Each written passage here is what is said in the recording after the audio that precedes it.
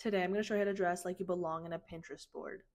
Step one, put on a button up, a tank top, or a graphic tee.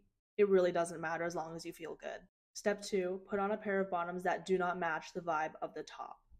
Step three, put on a pair of shoes that matches the vibe of the top. It's kind of like a vibe sandwich. Step four, layer any part of your outfit. I'm putting on this flowy tank over my button up. Step five, get a purse that matches any part of the outfit and put it on. Step six, accessorize to the moon. I put on rings, sunglasses, and my trusty headphones. And that is it. You are now a certified Pinterest girl.